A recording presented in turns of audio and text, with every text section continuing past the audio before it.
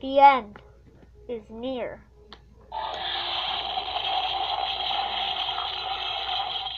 For the school year, guys.